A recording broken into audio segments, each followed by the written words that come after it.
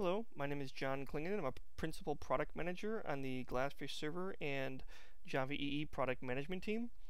This screencast is going to cover what's new in Glassfish server 3.1.2. Generally speaking, dot, dot releases are reserved for quality improvements, you know, bug fixes, or for um, platform updates such as new, new versions of browsers or new operating systems. Uh, we've received a lot of customer feedback and community feedback about some features they wanted in uh, Glassfish Server, so we're actually able to accommodate quite a few of those. The first of those is around improved clustering. So Glassfish Server enables users to manage instances uh, that belong to clusters or they could be standalone instances. They could either do that manually using config nodes or they could use secure shell technology uh, to centrally manage remote instances. And that essentially means installing Glassfish, creating an, an instance, starting an instance, stopping an instance, and uh, removing an instance. And even remo removing a glass a remote Glassfish server install. So you had basically lifecycle control over Glassfish and in instances using SSH. And this is a natural fit for Unix and Linux users, you know, the SSH technology, but it's not quite as is um, a natural fit for Windows, where you have to install Cygwin or the MKS toolkit for uh, to be able to run an SSH server. DCOM is much more natural for Windows administrators, so we now support the concept of DCOM nodes. So whatever you could do with SSH, you can now do with DCOM in terms of managing the lifecycle of remote Glassfish server installations and instances. We've also added support for non-multicast clustering. In some environments, multicast is, is disabled, and this includes IT departments that might consider a multicast a security risk, or in public clouds. So we've added support for non-multicast non-multicast clustering where you specify the IP address and port of one of the hosts of a cluster and uh, the other instances then know where to go to find out um, where other instances are. So it essentially becomes the, the directory.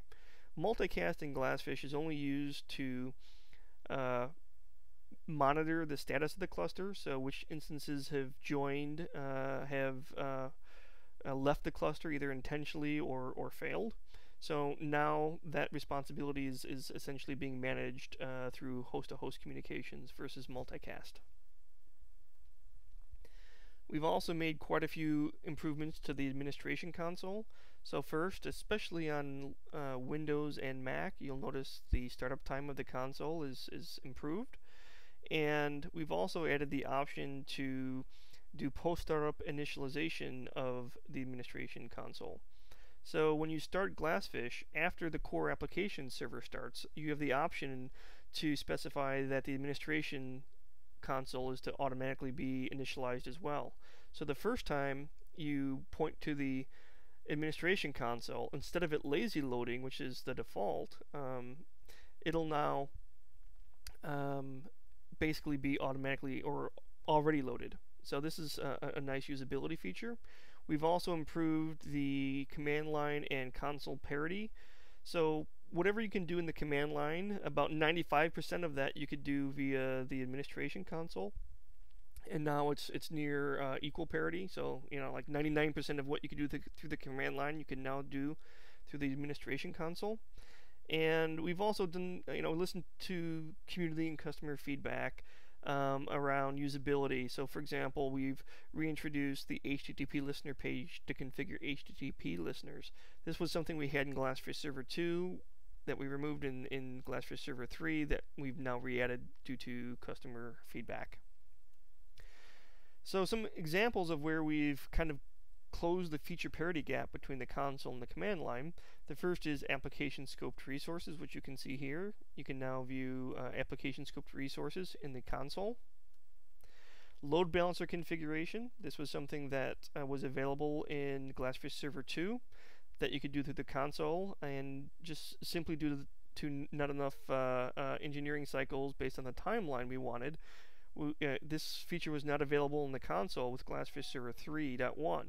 It was available available via the command line, but not the uh, console. So we've re-added this with the uh, GlassFish Server 3.1. Now notice uh, there's an asterisk here. Uh, this is a feature that's only available in Oracle GlassFish Server because the load balancer plugin, which plugs into the popular web servers, is only available with Oracle GlassFish Server. You can use the uh, ModJK and uh, ModProxy AJP uh, open source load balancers, but we don't have integrated uh, configuration uh, with the administration console for those. We've also added the ability to automatically set up SSH and install nodes via the command, sorry, via the console. This was a feature that was available via the command line. You could see them in, in red text, install node and set up SSH. We now have uh, the ability to execute these commands via the console. So now you can install Glassfish remotely using the console so that you can, ag again, manage uh, instances and set up setting up SSH, which can be uh, a little bit difficult for those new to SSH. It's just kind of something uh, that can be difficult to do with SSH itself. Uh, we had a command line tool uh, or option with asadmin setup SSH that would make that a lot easier, and that's now something that you can do uh, via the uh, console as well. We've added the ability to configure JMS clusters through the administration console. We've consolidated uh, basically um, all of our monitoring capabilities into the monitoring tab. So now, or the monitoring tree node. So if you go to the navigation tree, you now select monitoring data, and anything that Glassfish Server can, can monitor, you can now get to through this tab. Uh, that's mainly a, a, usability, ease of use uh, feature. We've added Oracle Toplink support.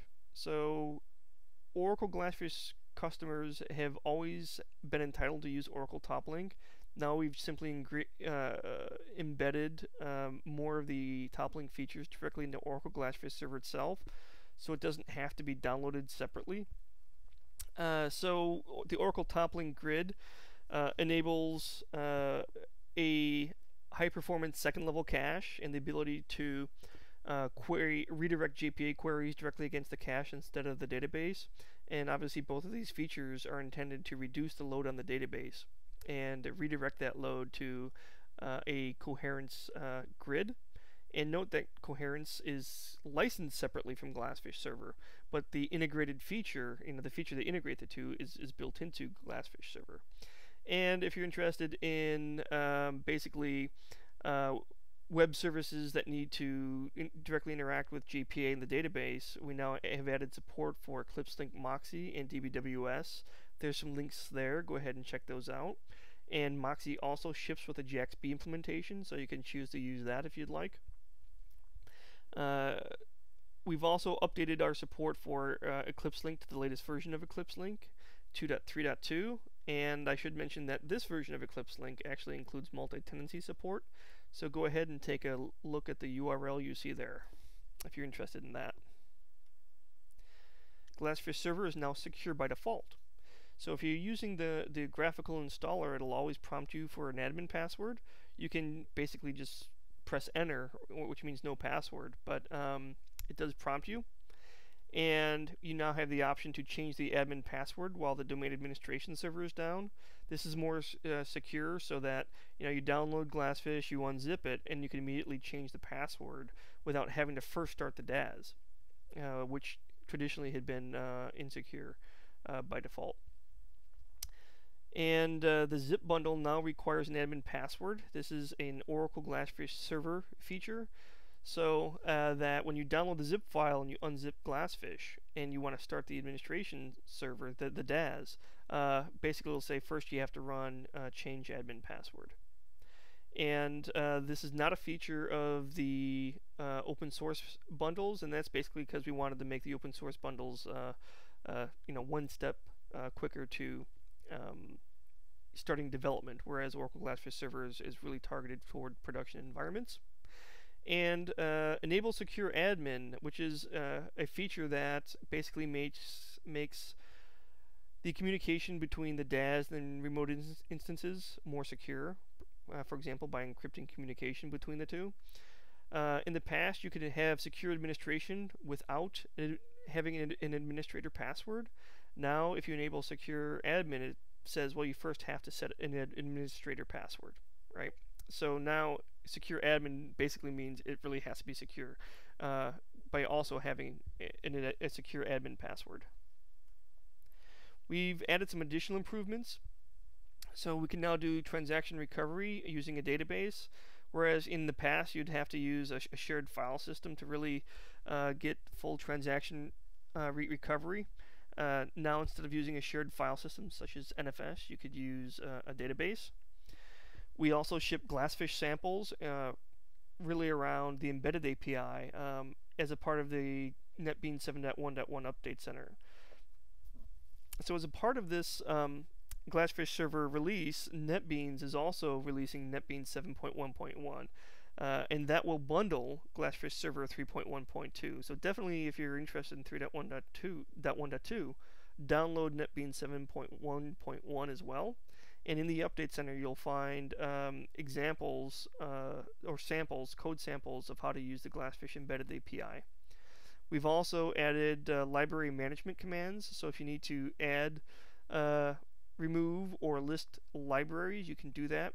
The primary use case here is, you know, in, in production environments, IT will lock down um, their uh, their uh, operating systems so that, for example, uh, the business units can't log in and install third-party libraries, perhaps uh, you know Spring or or uh, most importantly, JDBC um, uh, JDBC drivers. Uh, now you can do that using these library management commands. And we've also updated all the component libraries that make up Glassfish, the third-party libraries such as CDI and uh, Bean Validation from Red Hat, the Eclipse Link library I've mentioned, which is from, from the Eclipse Link project. Um, all those libraries have been updated. We've made quite a few quality improvements. So the core of Glassfish Server itself has had over 500 uh, bug fixes. And the libraries that we include, and I mentioned them earlier, some of them, uh, those alone have had over 300 bug fixes. So this is the second bug fix release for Glassfish Server, um, and uh, you should notice uh, just overall, um, you know, improved quality. We've also updated platform support. So this includes uh, you know, incremental updates to operating systems we already support, such as Mac and, and Ubuntu from a developer perspective. And uh, we've also added Solaris 11 support. We've added JRockit support, so this is the first Glassfish server release, uh, 3.1 release that formally supports uh, JRockit. We've updated the JDK support as well, the uh, Hotspot JDK and uh, AIX IBM JDK support and we've updated uh, the browsers as well, just kind of keeping up to date with what we test. We'd like to hear your feedback. Um, a lot of the features that you see in Glassfish Server 3.1.2 came through some of the communication channels that you see here, uh, whether it's Twitter, Facebook, the mailing lists, and the forums, uh, youtube.com slash glassfish videos. Uh, we really try to listen to customer uh, customers and uh, the community in, in terms of you know the features they want, the bugs they want fixed. You know, we they help us prioritize uh, these features and bugs and so on. So please uh, continue the feedback. Um, we want to build a better product, and uh, thank you very much for the feedback that you've given us so far. Thanks.